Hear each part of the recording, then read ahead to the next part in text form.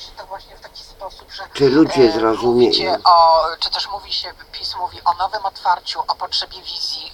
Morawiecki ją posiada, tylko e, skoro Ta już tak długo trwał ten gada. serial Ta pod tytułem Rekonstrukcja rządu, to nie można było poczekać jeszcze trochę e, i nie wiem, po za świętach czy no po nowym tak roku ogłosić, że będzie Morawiecki, że ale już w zmienionym składem swojego gabinetu, tak żeby to rzeczywiście pokazało jakby takie, w którą stronę idzie myślenie Nie, nie, nie, na znaczy, to drugie dwa lata, na te następne dwa lata Bo- bo- rządu. Znaczy, w, które, w którą stronę idzie Wszędzie myślenie, to się pełno, jutro w czasie trzeba expose.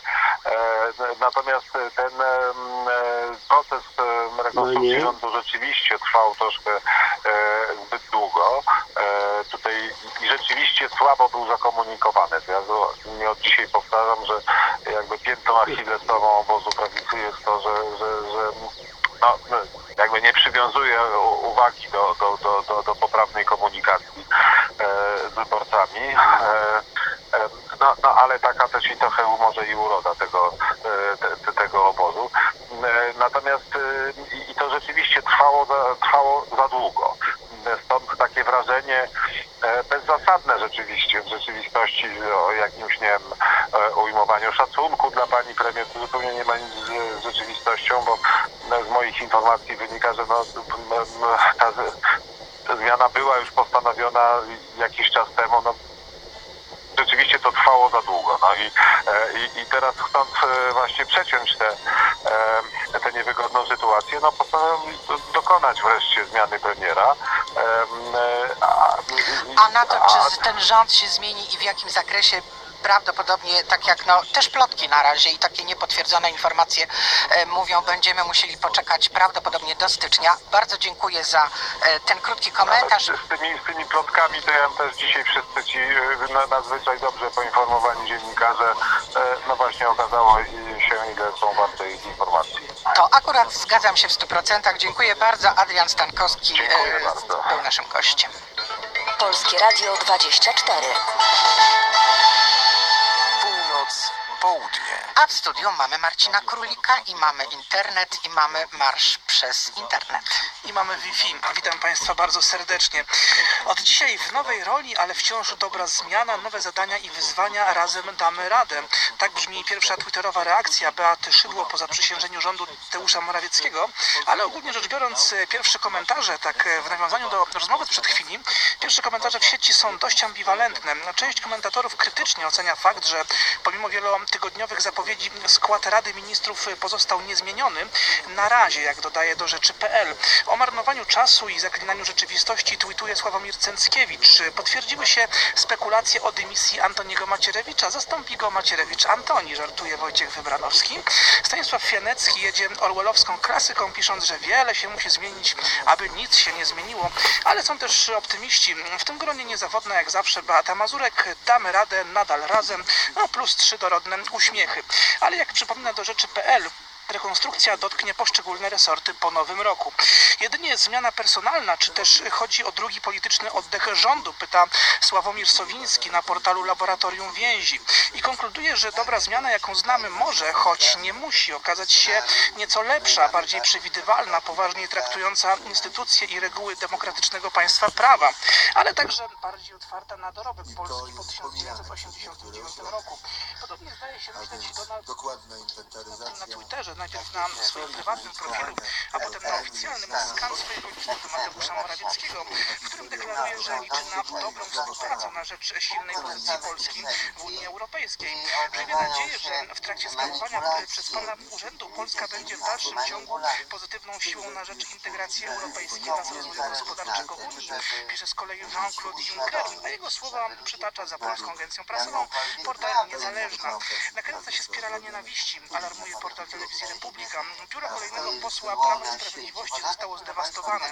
Tym razem ofiarą wandalizmu padł Andrzej Melak, tak. Natomiast w wywiadzie dla portalu w Polityce ekspert do spraw bezpieczeństwa Dariusz Loranty mówi, że gdyby ktoś obrzucił jajkami kolumnę samochodową prezydenta USA lub Izraela, byłby trwale uszkodzony, o ile w ogóle by przeżył. A, przy, a przypomnijmy, że niedawno bohaterka piątkowych zajść pod Pałacem Prezydenckim pisarka Klementyna Suchanow dość szeroko rozpisywała się na Facebooku o swoich obrażeniach, kiedy została rzucona na ziemię przez policjantów. E, Loranty twierdzi, że za czasów ministra Błaszczaka e, doszło do zwiększenia policji. Policjanci bardzo delikatnie podchodzą do interwencji, choć w większości wypadków e, mają prawo do, do stosowania środków przymusu bezpośredniego. E, Obywatele RP na swojej stronie internetowej opublikowali z kolei dziś oświadczenie w sprawie e, zelżenia przez właściciela firmy ochroniarskiej, ochroniarskiej Farmazon, młodej dziennikarki TVP. No i mówią, że e, ta sytuacja rzeczywiście nie powinna się zdarzyć i była naganna, no plus jeszcze kilka rzeczy, ale to już może Państwa odeślę na stronę. Dziękuję bardzo i do usłyszenia jutro. To był Marcin Korulik i w ten sposób zakończyliśmy dzisiejsze wieczorne wydanie magazynu Północ-Południe. Południe. Program informacyjny Polskiego Radia 24. Powtórka programu. Magazyn sportowy. Dobry wieczór. Dzisiaj poniedziałek, magazyn Sportu Walki. Andrzej Janicz, witam Państwa. Moim gościem jest Łukasz Chmaj. Dobry wieczór. Dobry wieczór, witam Państwa. Przyjaźnił Trochę to ale dwóch facetów to tak myślał, że że Niemcy nie mogła tutaj przyjechać, e, bo ma Polsce, żeby Polska to zrobiła tak, że ta przyjaźń Merkelowa wcale nie jest taka, proszę Państwa, łagodna, wcale nie jest Anyszkowa, wcale nie jest Landrynkowa, ta przyjaźń. Także widzicie Państwo. No i jest takie powiedzenie, że kochajmy się jak bracia, a rozliczajmy się jak Żydzi. Czyli że tu w Polsce już nie lubią tych Żydów, a mówią, proszę Państwa, o jakichś takich mafiach żydowsko-watykańskich. No nie wiem, nie wiem, ten Pius XII, proszę Państwa, ten Pius XII, no przecież wiadomo, że to człowiek bardzo zły. No kto? Papież, papież. To był prawie Niemiec, to on bardzo kochał, rozkochiwał się w Niemczech. Niemców. kochał, Niemcom sprzyjał, no i potem mówi się, że Pius XII błogosławił Hitlera, błogosławił Historia To chwilę literatury jest. Ale to nie to, że komunistyczne, tylko literatury znawców. Literatura znawców. Organizujemy cztery gale. Druga sprawa, chcielibyśmy pokazać kibicom nie tylko polskim, ale i zagranicznym, że naprawdę kobiet walczących i w Formule K1 i w Formule MMA nie brakuje.